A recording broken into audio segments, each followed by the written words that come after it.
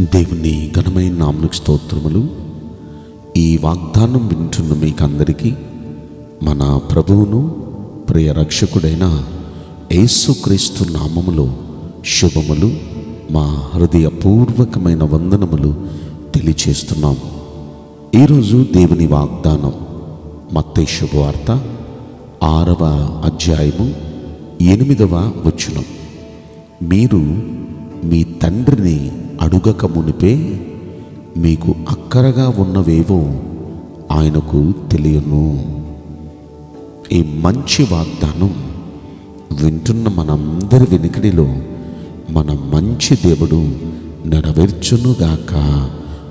మేన్ ప్రియ దైవ జనాంగమా ఈ రోజున మీ జీవితాల్లో ఏమి అక్కర్లుగా ఉన్నవో ఏది లేదు ఏది కలగలేదు ఏది జరగలేదు అని మీరు బాధపడుతున్నారో అవన్నీ మీరు అడగక మునిపే మన తండ్రికి తెలుసు. అడుగుతున్నాను నాకు ఇంకా ఇవ్వటం లేదు అని చాలాసార్లు మనం బాధపడుతున్నాం.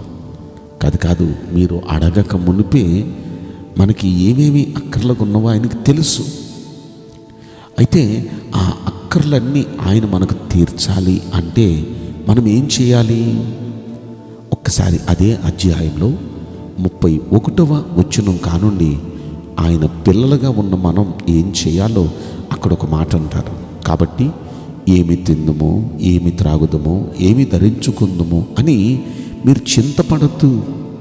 అన్యజనులు వీటన్నిటి విషయమై విచారిస్తారు.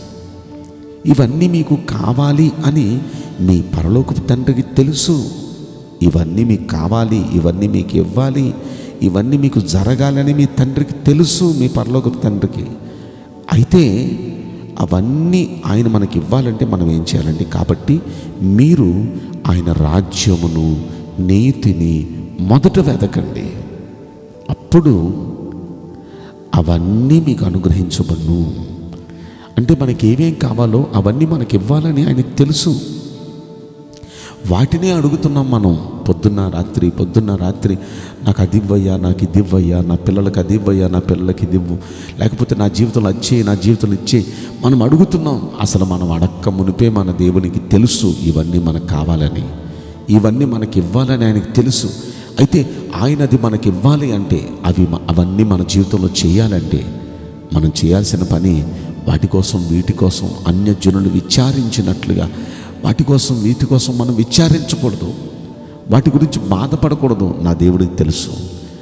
నా దేవుడికి తెలుసు నాకు అక్కర్లుగా ఉన్నవేమో. నా దేవుడికి తెలుసు వీటిని నాకు ఇవ్వాలని నా దేవుడు ఇస్తాడు నాకు అనే నమ్మకంతో మనం చేయాల్సిన పని ఏంటంటే ఆయన రాజ్యాన్ని వెతకాలి ఆయన నీతిని వెతకాలి మనం ఈ పనిలో ఉన్నామనుకోండి ఆయన రాజ్యానికి నేను వెళ్ళటానికి నేనేం చేయాలి? పరలోక రాజ్యం వెళ్ళాలంటే నేను ఎలా బ్రతకాలి? పరలోక రాజ్యం వెళ్ళాలంటే ఎలా మాట్లాడాలి? ఏ విధంగా నా పద్ధతులు మార్చుకోవాలి? నేను ఆయన రాజ్యానికి వెళ్ళాలి. ఆయన రాజ్యంలో స్థానం సంపాదించుకోవాలి. ఆ తాపత్రయంలో మనం ఉంటూ ఎలా మనల్ని మనం మౌల్డ్ చేసుకోవాలి? ఇంకేం మానుకోవాలో? ఇంకెలా సరి చేసుకోవాలో? అవన్నీ అలా సరి చేసుకుంటూ ఆయన రాజ్యాన్ని వెతకాలి. ఆయన నీతిని వెతకాలి. ఆ నీతి గల న్యాయాధిపతి మనకి న్యాయం చేయాలంటే మనం ఎలా నీతిగా ఉండాలి? ఆ నీతి మార్గాల్లో ఎలా నడవాలి? నీతిమంతులుగా బ్రతకటం ఎలాగో ఆ నీతిని మనం వెతకాలి. ఆయన రాజ్యాన్ని వెతకాలి ఆయన నీతిని వెతకాలి. అలా మనం నీతిగా ఉండటం ఏంటో నీతిమంతునిగా బ్రతకటం ఏంటో మనం జాగ్రత్తగా అవి మనం పరిశీలించుకుంటూ నీతిగా బ్రతకటంలో మనం తాపత్రయపడుతూ ఆయన రాజ్యాన్ని మనం వెతుకుతూ ఆయన నీతిని మనం వెతుకుతూ ఉంటే మనకి ఏమేం కావాలో అవన్నీ ఆయన మనకు అనుగ్రహిస్తారు ఖచ్చితంగా. కావాల్సినవన్నీ అనుగ్రహించాలంటే వీటిని వెతకూడదు. వాటి కోసం మనం తాపత్రయపడకూడదు. అక్కడ అంటున్నారు అన్య జనాంగం వాటి కోసం తాపత్రయపడతాడు. అంటే దేవుడు లేని వాళ్ళు వాటి కోసం తాపత్రయపడతారు. కానీ మనం దేవుణ్ణి కలిగిన జనం వారికి మనకు చాలా తేడా ఉంది. ఆయన మన తండ్రి మనం ఆయన పిల్లలు. మనం దేవుణ్ణి కలిగిన వారం ఆయన ఇస్తాడు. అదే నమ్మకం. ఆయన ఇస్తాడు. ఆయన చేస్తాడు. నేను మొదట నేను భక్తిని చేయాలి. ఆయన్ని వెతకాలి నేను. ఆయన రాజ్యాన్ని వెతకాలి నేను. ఆయన నీతిని వెతకాలి. ఈ తాపత్రయంతోనే మనం భక్తిలో ఎదుగుతూ ఉంటే మనకు కావలసినవన్నీ మన తండ్రి మనకు అనుగ్రహిస్తాడు తృప్తిపరుస్తాడు. ఈ వాగ్దానం వింటున్న ప్రతి వ్యక్తి జీవితంలో ఉన్న ప్రతి కొరతలు మన మంచి దేవుడు తీర్చి తృప్తిపరచునుగాక. ఆ మెయిన్ నేను మీకోసం ప్రార్థన చేయబోతున్నాను. పరిశుద్ధుడా ప్రేమగలేసు రాజా మీ పరిశుద్ధ బంగారు పవిత్రమైన నామ్మునకు నిండు మనసుతో కోట్ల కొలదిగా స్థుతులు స్తోత్రములు వందనాలు చెల్లిస్తున్నాం. ఈ వాగ్దానం వింటున్న ప్రియుల జీవితంలో దయచేసి ఈ వాగ్దానం నెరవేర్చి వారికి అక్కర్లుగా ఉన్నవేమిటో ప్రతి అక్కర మీ మహిమైశ్వరం చెప్పిన తీర్చి తృప్తిపరిచి ఆనందింపచేయమని ఈ కొద్ది మనవులు నజరుడైన యేసుక్రీస్తు ప్రశస్తమైన నాములో మిక్కిలి వినయముతో ప్రార్థించి బ్రతిమలాడి వేడుకుంటున్నాం ప్రియ పరలోకపు తండ్రి.